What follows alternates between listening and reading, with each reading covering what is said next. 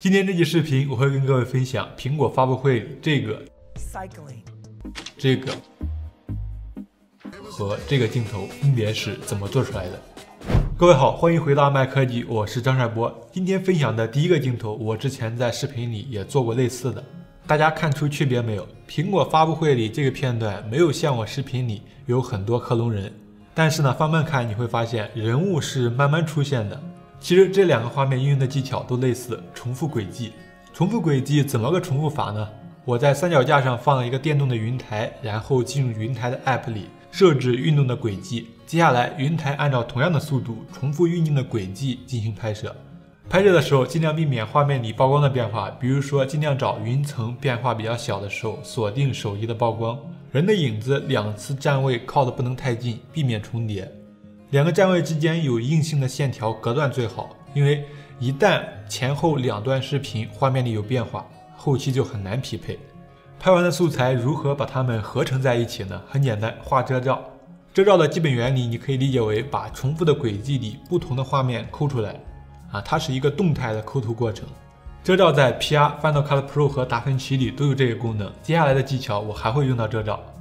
重复轨迹拍摄除了电动云台，很多三轴稳定器也可以做。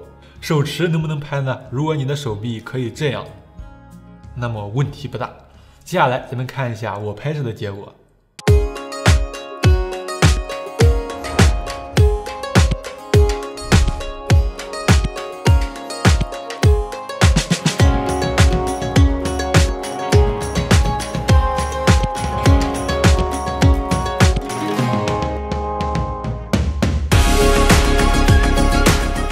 第二个任意门转场镜头，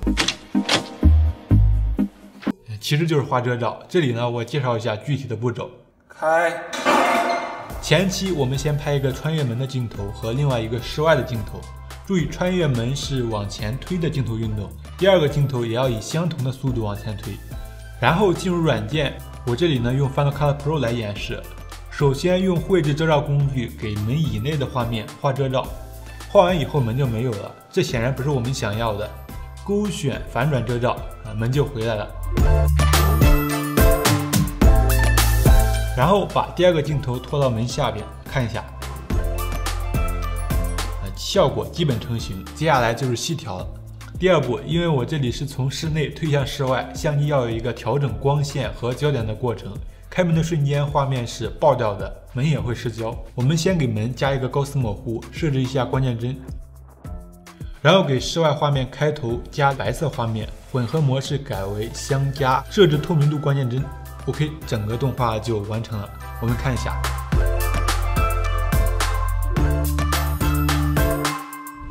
大家好。第三个锁定对象。这种相机和手的运动完全同步的画面非常有冲击力。苹果在之前的宣传视频里也用到过几次。那么它是怎么做出来的呢？前期拍的时候要确定好锁定的对象，尽量让它处于画面的中心。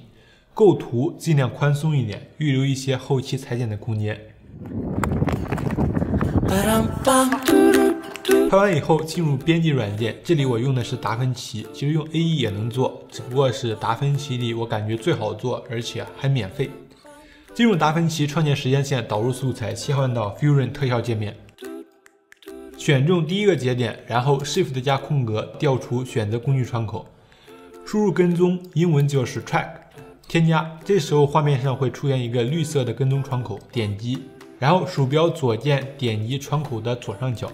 把它拖到需要跟踪的地方，稍微调一下窗口的大小，尽量让跟踪点更具体、更明显。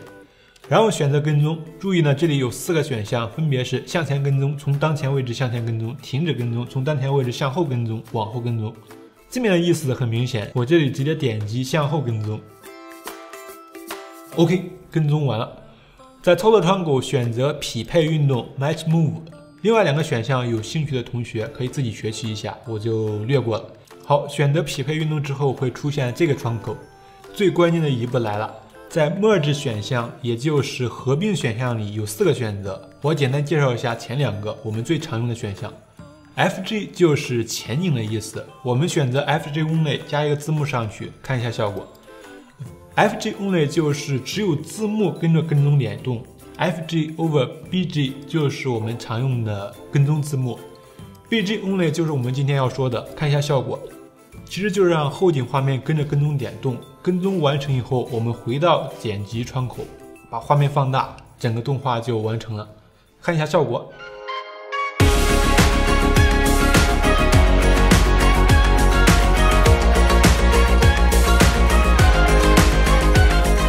好了，以上就是今天分享的所有内容。如果你想看到更多类似的视频，请一键三连支持我的频道。你的支持就是我做出更多视频的动力。咱们下期视频见。